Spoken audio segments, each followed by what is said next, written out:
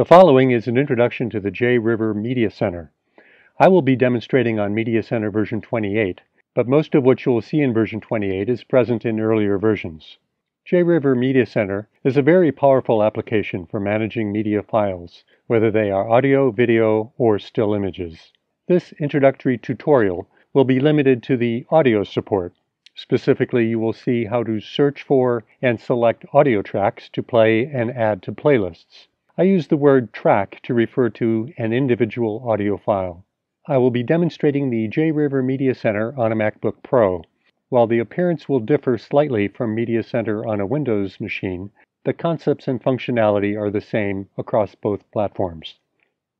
JRiver Media Center is very complex. There are a lot of things that can do and typically multiple ways to do any specific thing. In addition, there are many things that can alter the behavior and operation of the app. Let's look at what you'll see when you start Media Center in the standard view. There are four main sections to the initial display. The tree controls located in the upper left, the content panel taking up most of the area on the right, the action window display panel in the lower left, and the player bar across the top. The tree controls are divided into multiple sections. Playing Now, Audio, Playlists, Drives and Devices, and Services and Plugins. There may be more controls in this section on your version of Media Center depending on the features that are enabled in your system. Given that I have configured my Media Center to be limited to audio, other optional controls are not displayed. The Player section under the Playing Now tree displays the track listing of whatever album or playlist you happen to be playing. Your music is stored on your computer in a file system which is probably made up of a hierarchy of directories or folders. This allows you to organize your music files in a manageable order. I organize my music files under a directory called Music, located under my home directory. Under that are the various genres pop, Cajun, Zydeco, country, world, etc. Below that are the album artists. Under that are the albums released by that artist and at the bottom are the individual tracks contained in that album. Such an organized arrangement is more for your benefit than a requirement for Media Center.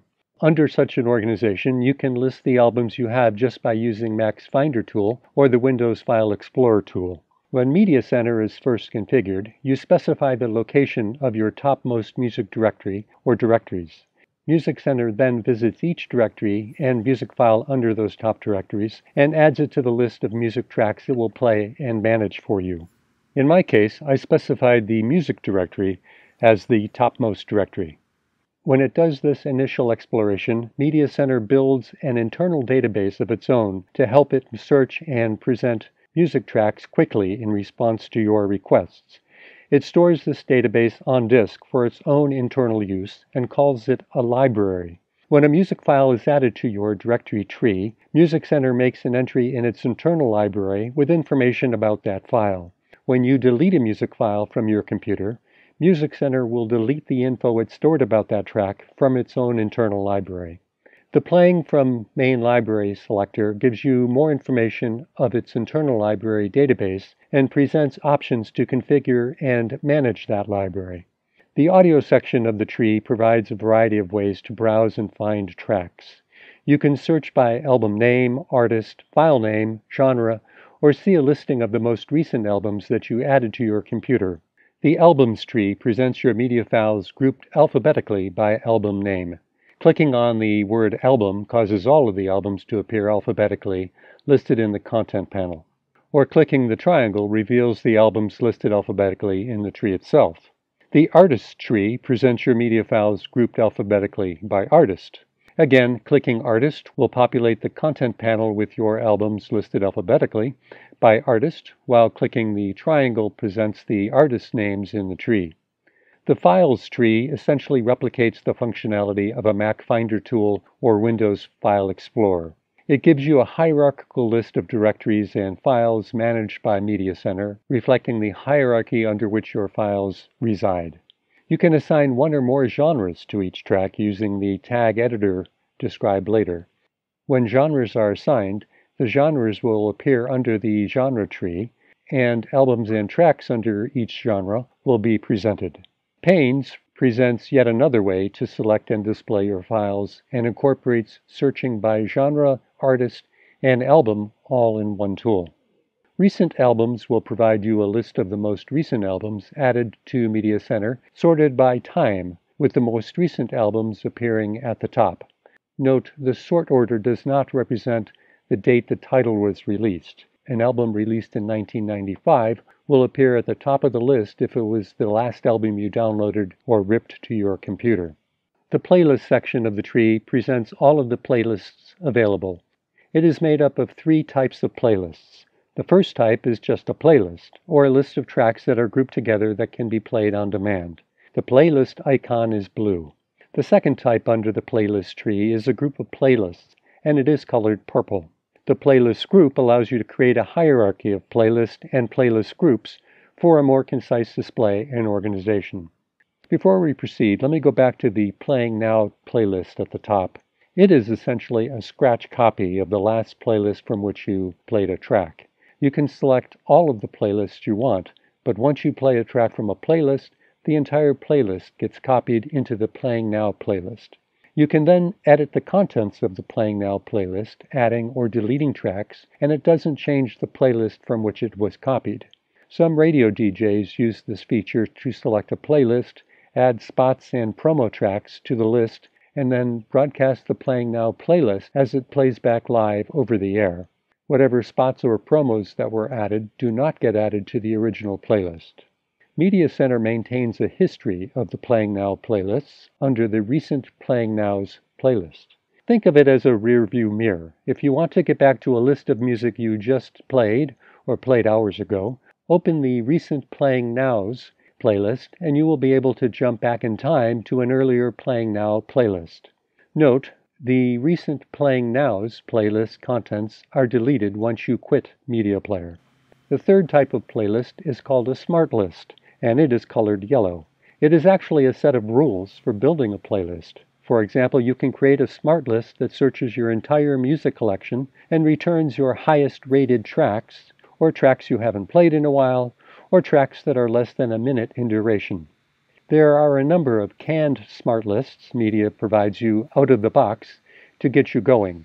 You can study these predefined smart lists and then create smart lists of your own that suit your specific needs. The fourth section of the tree provides information on your attached devices, which might be a thumb drive or a DVD player. The last section, Services and Plugins, is your portal to extending Media Center to interface with the Internet and customize its behavior. We'll leave that for a more advanced tutorial so that this introduction doesn't become too long. The next main section to the standard view is the Content panel. It is basically a window that is populated in response to the selections you make in the tree. It will typically appear as two sections. The upper section presents items found in response to what you select in the tree on the left, while the lower section presents the files associated with selections you click on in the upper section. For example, if you were to list albums in the tree, a list of album covers is displayed in the Content panel. Click on a specific album, and the track listing appears in the lower panel. The navigation arrows give you the ability to go back to the selection you were just on, or forward if you already went back. And Media Center has a built-in browser that goes over the internet to specific websites that provide information on published music and artists. This gives you a quick way to retrieve more information on tracks in your library. As you can see, once you select a track, Media Center can retrieve information from Amazon, All Music Group, Google, etc. about that track or artist. The action window is in the lower left. It is comprised of actions that complement the functionality of the tree control. There are four such actions you can initiate from the action window, or perhaps more depending on the features you have enabled. Rip a disk, sync a playlist to an external device, like a thumb drive or smartphone, build a playlist, and open the tag window. The display view pops into action to provide the image saved in the file, usually the album cover of the track you have selected. It shares the lower left section with the action window. This would be a good time to talk about the anatomy of an audio file. First off, there are a variety of audio file formats. WAV, FLAC, and MP3 are some examples. Each of these file types devote a section to representing the audio signal as a series of bits. However, the designers of these file formats wanted to include additional information such as an artist's name, album name, year released, or even an image of the album cover. This additional information is called metadata. It is packed into a file as a collection of key value pairs. The key might be the word year, for example, and the value assigned to that key might be 2021. These key value pairs are also known as tags. When you open the Tag Action window, Media Center presents you a list of all the key value pairs that it found in the file. In addition, the tag view presents other statistics like last played, which is information saved in Media Center's internal library, but not the file itself. The tag editing tool allows you to see all the information that Media Center has loaded from the file. You can also add more information like genre, and you can override the information that it loaded from file with corrections that you feel are more appropriate. The last main section of the standard view is the player bar. It is the top section that includes the playback controls you're already familiar with. In addition, the spacebar will pause and resume playing if you don't want to use the mouse or trackpad. The volume control is right under the playback controls and the two arrow groups allow you to enable repeat and random shuffle modes when playing from a playlist. At the right end is a search window that allows you to search for any track by artist, album, or track name.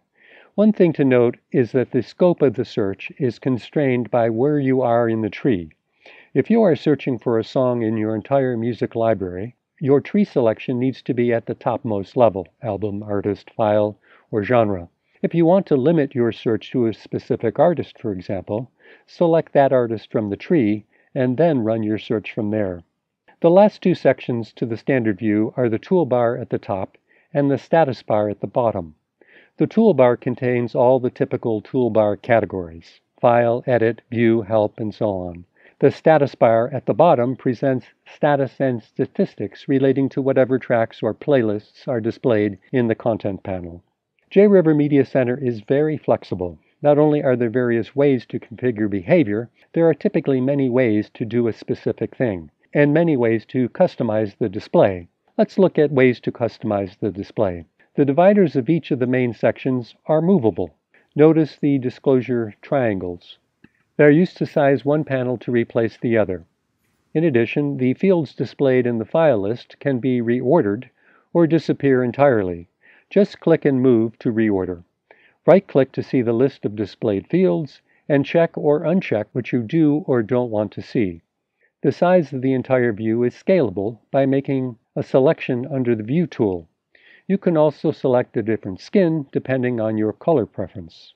You can independently change the size of the album covers by moving this slider. And finally, you are allowed to create multiple views and store them in tabs in the Content panel. I've been referring to this as the standard view. Well, here's a surprise. There are other views to JRiver Media Center.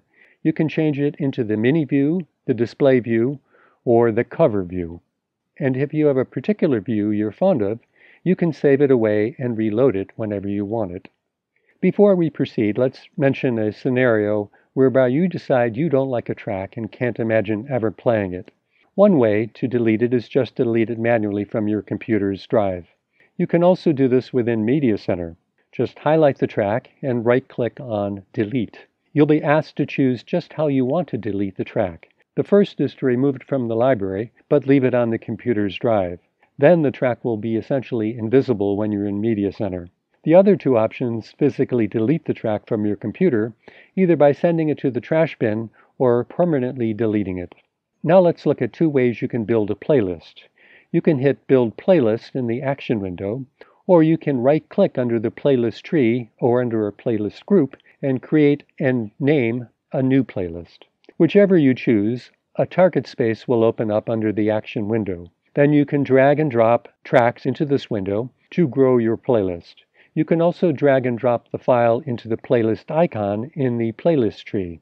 In either case, note that the file you drag and drop is copied, not moved, from the file list into the new playlist. A third way to add a file to the new playlist is to right-click on the file and follow the selection to add it to the playlist of your choice. No matter which method you choose to add the track to the playlist, you'll see it appear in the Target window under the Action window. And when you click the icon for the new playlist, the Content panel will display its contents. Note that the sequence of the tracks added to the playlist may not display in the order added. If you want to play the tracks in the order in which they were added, hit the Sequence heading to sort by sequence number. You can hit the heading of any of the fields in the playlist track listing to sort on that field. Hit it again to reverse the sort order. You can move tracks around in the list by dragging them, or you can use one of the buttons dedicated to moving tracks up and down. When you finish moving the tracks around to just the order you want them played, Press the Update Order button and the tracks will be resequenced into the order you sorted them. You should also make a habit of removing duplicate entries from your playlist, which happens when you add the same track twice. Media Center will warn you when you attempt to add a duplicate entry, but if you add it anyway, you can always go back later and remove any duplicate tracks it finds. Media Center provides a number of options for playing the tracks in a playlist. There is repeat and shuffle options mentioned before. They can also be found under the player options in the toolbar. This would be a good time to introduce the options that Media Player gives you to configure the behavior and operation of Media Center. Bear in mind that any option you change will be saved and remain that way the next time you start Media Center up. There is a way to get back to the factory settings, and we'll show that a little later. The options are found under the Tools category in the top toolbar. The options are grouped into categories. There are too many to cover in a comprehensive manner without becoming mired in details. As I mentioned in the beginning, JRiver Media Center is very powerful. There are a substantial number of facilities that can be enabled. To see them, click the Features under the General options. Each checkbox enables a facility that extends the operation of Media Center in specific ways. For using Media Center exclusively for audio files, you can see that I have deselected most of the optional features. The few options I do want to bring to attention are the playback options. One pertains to the behavior when transitioning from the end of one track to the start of the next. You can set this behavior to fade the end of the current track down while it fades the start of the next track up. This can soften the start of tracks that begin with a forceful opening. For this reason, I prefer gapless. The other setting I advise to check is the Do Not Play Silence. When enabled, the playback will skip over any silence that may exist at the start or the end of a track. Media Center gives you a way to save the state of Media Center. They allow you to back up not just its internal library database, but also all of your playlists and current settings. Go to the main library section under the Playing Now tree. Then press Backup Library to save all that information under a name you give it. Or you can use a file name Media Center suggests for you, which includes the current date and time. It's a good idea to do this before upgrading to a newer version. Starting Media Center after doing a major release update will return you to a blank state. All of your playlists will be gone. The way to get them back is to load your old library, including the playlists. And the way to do this is to hit the Restore Library and select the name of the last backup you saved from before the upgrade you can independently load just the settings, and this is the way to restore you to factory default settings. Just pick the first backup you made when you first backed up JRiver and load the settings only. That's it, an introduction to the JRiver Media Center.